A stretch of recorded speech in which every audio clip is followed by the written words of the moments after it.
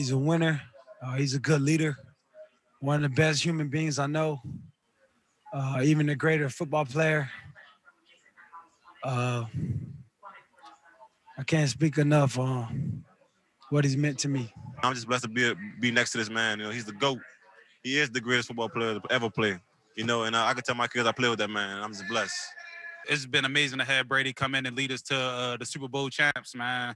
Like, like there's nothing else to be said. Brady is nothing that he can't do. New team, new scheme, first year going to the Super Bowl and winning it all. Like he, he's the goat for sure. By the way, I just want to mention Leonard Fournette, heck of a game. He'll be on the show with us tomorrow. I can't wait to talk to him. Uh, Dan Orlovsky's in the building. And Dan, you know I have love for you, but I don't even know your wife, and I like her more than you. Everyone, please go look at Dan's Instagram, and you can thank me later. We will leave it at that solid video. I was so mad, Molly. Oh I was so my so God. mad. I know, cry baby, Curiosity all just peaked. competitive. Oh my goodness. Uh, but I can tell your wife something special. We'll leave it at that. Stephen A. Let's go back to the GOAT talk. Did Brady finally put an end to it, even in the future? It's all said and done. Brady's the GOAT. No one's ever going to take that away. I think so. I think so. He's going to go down as the most celebrated quarterback in the history of the National Football League. Um, and I think that, again, you know, I say it's over for Patrick Mahomes, and, and only in that regard. We all know that Patrick Mahomes is phenomenal. We know he will be back. There's no question in my mind that as long as he's healthy and he's at the quarterback position for the Kansas City Chiefs, they will win Super Bowl championships in the future. I sincerely doubt it'll reach seven, but more importantly than that, we're going to look at the fact that when he went against Brady, Brady took him out.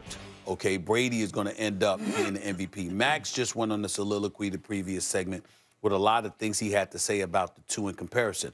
And what I'm saying to Max is what Max has said on many occasions about everybody else, and you can validate this. It's not that your information is wrong. It's that at the end of the day, ain't nobody gonna be thinking about that. Like, for example, you could you're a Giants fan, a Giants fan, die hard, and you didn't even remember that New England scored 14. You said 17. Right, it was And I- 17, 14. I'm just saying, yeah. you didn't even remember, but you remembered, of course, that the Giants beat the Patriots. I'm saying to you that when it comes to Patrick Mahomes against Tom Brady, we're going to remember that they got beat down. The particulars is going to escape a lot of people in the future. What we're going to remember is that Brady Yeah. won and won Super Bowl MVP. Mm-hmm. And Patrick Mahomes lost and lost convincingly, spent most of the day running for his life. And so when you look at it from that perspective, and it was a beat down that took place before the world, that is not something that gets glossed over. It's something that you can ultimately overcome in terms of people still appreciating your greatness and what you mean to the NFL and that you're the future face of the NFL or whatever. But even though Brady's won now four rings, I mean, I think he's won like three or four rings since the age of 37. Since the age He- of 37. he's won three since I made the Cliff prediction. that- that's- out of the last five years. He has three. multiple after 40. That's all I know. Don't bring that up. Don't do that I- to yourself. I- I- but in the don't have a end, problem. but in the end, what it comes down to is that when you get beat down like that, and it's at the hands of Brady, people are going to remember that. Those other details, while definitely accurate, Yeah. is not what folks outside of Matt Kell- Max Kellerman and the Dan Orlovskis of the world and others are going to recall. What you just said is real talk. That's how that, as the kids say. I don't know if they're kids anymore. Everyone says real talk, right? For, isn't Yeah. that old? Is that no? pe- No one's even I don't saying it in real know. talk. I anymore. say it all the time. The point is, I'm old. the point is, that's real talk. That's that's actually what is going to happen. Yeah. Now, do I think that means the, the door is shut? I don't. And let me tell you why. First of all, there could be a rematch next year.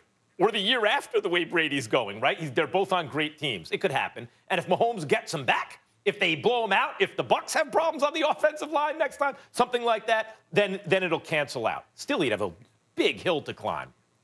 The fact of the matter is, you may be right, and he's not catchable. Whatever you want to say about the, the, the color line in baseball, the consensus in baseball is Babe Ruth's the greatest player who ever lived. He played in the teens and 20s of the last century. Mm-hmm. Sugar Ray Robinson's the greatest fighter who ever lived. He fought in the 40s and 50s. Michael Jordan, basketball, 80s and 90s, right? And they still stand. So it could be that Brady, we're just witnessing Brady that's going to stand 50, 100 years from now. One thing I got to say, though LeBron James. When LeBron James went to Miami, not two, not three, not four, he lost the first one to Dallas. They were favored, and he choked. He didn't want the ball in the fourth quarter. Four different fourth quarters. He abdicated that responsibility. They lost. The, the Jordan ship had sailed at that point. according to people like me. And I'll still say that. And yes, we're going to look at the score and say that's a blowout. But did Mahomes actually play poorly? Like as I said, he hit two receivers in the face with the ball. He had he had iconic plays in that game that we'll be looking at highlights, you know, decades from now that weren't even receptions. Like we're going to look at him parallel to the ground throwing that ball like the Odell Beckham catch, and it hmm. wasn't even a catch. No, it wasn't Mahomes the way LeBron didn't want it. It was the team around him. And I'll say this LeBron's in the GOAT conversation. He's in. Look, you, you want to deny LeBron's in the GOAT conversation? There's a generation of people, it's like 50 50 almost, who think it's LeBron or Jordan. I may disagree with them, but to say LeBron didn't get back in it after he lost that first one against Dallas is not true. He's won five since then. No, LeBron's in it, and if LeBron got back in it, it's not impossible for Mahomes. All right, Dan, you played quarterback. Talk to us. I have no idea if Max actually answered the question. Uh, the conversation. how is did I not answer Tom the Brady's question? the goat. I Tom just Brady's said the goat. He's you just said, does it put an end to all talk? I said caught. no. Is it- he will not be caught. First of all, Tom Brady's got seven now. He's got seven. All other active quarterbacks, including Drew, who's going to probably retire in a couple weeks, Drew Brees, they've got eight. So he's got one less than all of the other active quarterbacks in the NFL. He went to an organization, guys, that had the worst winning percentage in the history of the NFL and hadn't been to the playoffs in a dozen years and then just won the Super Bowl and kind of did it relatively easily. They had the hiccup in the season where they were poor for a five week stretch, absolutely. But then he goes on the road and beats three Hall of Famers, three of the all time greats. He goes on the road and beats Drew Brees. He goes on the road and beats Aaron Rodgers, and then he beats Patrick. We agree Patrick will more than likely be a Hall of Famer. I mean, this is not only did Tom go win his seventh, Tom won his seventh and went on the greatest Super Bowl run a quarterback's ever been on. I mean, think about that. He threw for 50 touchdowns this year at age 43. It's so hard to do what he had. It's so hard to link up with the coach and the organization and take the pay cut with the salary cap for that stretch that he did in New England. And then uh, when the other team decides that they don't want to keep you per the price or support you per the play, have the opportunity to go somewhere like he did and completely reshape. I mean, think about the guys that scored last night. Leonard Fournette was cast off, but he wanted to go play with Tom Brady. AB, now AB did a lot of it on his own. Mm, People didn't want. Here's a second, third, fourth, fifth, sixth opportunity because he wanted to play with Tom Brady. Gronk came back, and I thought, no shot Gronk ever plays in the NFL again. Gronk came, comes back. Why? Because he wanted to play with Tom Brady.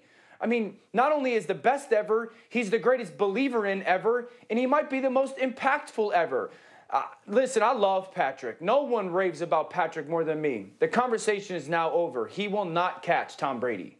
It's unlikely that he will catch Tom Brady because it's like as though LeBron lost that series in Dallas to Michael Jordan.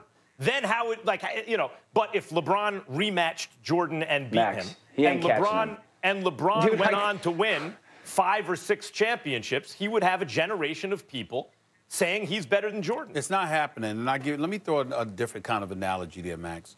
Um, in 2002, my man Will Packer, producer extraordinaire. I we know Will. him, a huge, Yeah. huge Tampa Bay fan and what have you. He just texted me a few minutes ago. Here's the deal: when you look at what, Tam- what, think about what Tampa did in 2002.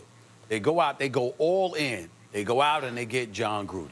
All right, that's one parallel. Mm-hmm. Then they go and they beat the Eagles. I was at that game, the, the coldest game I've ever been to. I had to cover that game for the Philadelphia Inquirer. I had, I looked like I was 300 Hope pounds. you had a with the long chinchilla. and the snorkels and everything that I had on. It was ridiculous. Okay, all right. They finally beat the Eagles. They got over the hump. And more importantly, there were distractions along the way. If you recall, when they beat that won that Super Bowl against the Raiders, Barrett Robbins, he sits up there. He's upset that the coach Bill Callahan, you know, decided to, to game plan and go away from the power running game, which to him was his bread and butter. That's how he became a Pro Bowl center and what have you. He was distraught, depressed, leave the hotel, go out, get drunk, do drugs, prostitutes, all all, all types of stuff. I mean, it was crazy what he did, and they couldn't find him for the Super Bowl, okay? So the all pro center was gone, all right? What happens this time around? Andy Reid with his son, that news comes up. That's percolating Super Bowl weeks. The parallels cannot be denied, but guess what we still remember?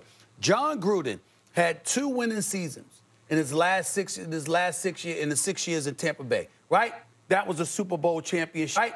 That was a Super Bowl championship success. But Jon Gruden leaves is in the Monday Night Football booth and is relevant to this day because of what they were able to do with that one Super Bowl. And that's a coach. So can you imagine what this is going to do for Tom Brady, who had six rings before he walked Right. into My yesterday's point is- game, hold on, hold on. and then to now do this? My I point mean, it's is, untouchable. My it's point untouchable. is, my point is, you're right. That's why, in terms of it being unlikely, which is why I brought up Babe Ruth. hundred years later, people still think he's the greatest. Max. Probably was.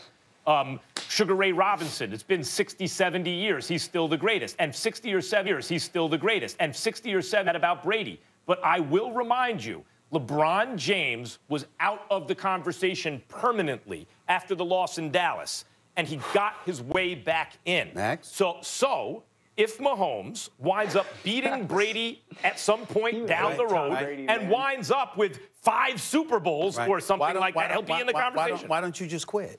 Why don't you just quit first take right now? You've been raving about Jordan being the greatest, as have mm-hmm. I. In other words, we don't Thank you. believe Yeah, LeBron so that's is why that point However- so why are you saying that? Yeah. We don't believe it. because I'm addressing your point, your point about what people will remember. You're saying it's disqualifying because he lost to him head to head and people will forget the details. But those same people have embraced LeBron, many of them, Most people as the who greatest embrace, who ever most lived. people who embrace LeBron weren't born Max. when Jordan was playing. He'll be in the conversation Max, as can second to Brady, just like LeBron's in the conversation oh. as second to Michael Jordan. That's facts, Max. Well, I, I- I would say this. Jordan, i- i- if Mahomes' peak is considered higher than Brady's as an individual performer, he doesn't need to catch him with numbers of Super Bowls. So long as he's competitive there, if he has a handful of Super Bowl wins, and at some point he's going to have to beat Brady No. head to head, Yeah. the fact that his peak will be perceived as higher could push him over the top. No. No.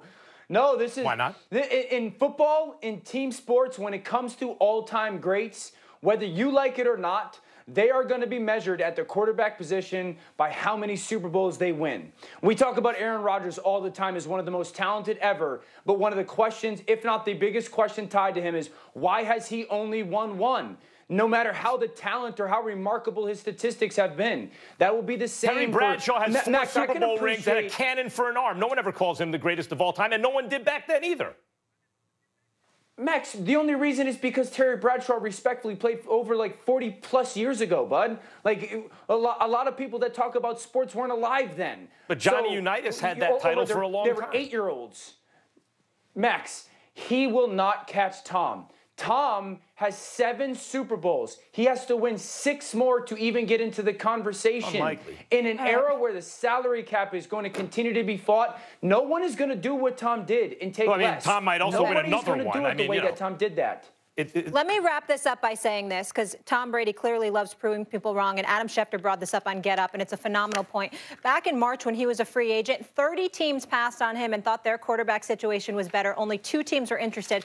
That was the Chargers and Tampa Bay. Clearly, Tampa making the right choice. We'll leave it there. Daniel will be back with us when we come back. I'm looking.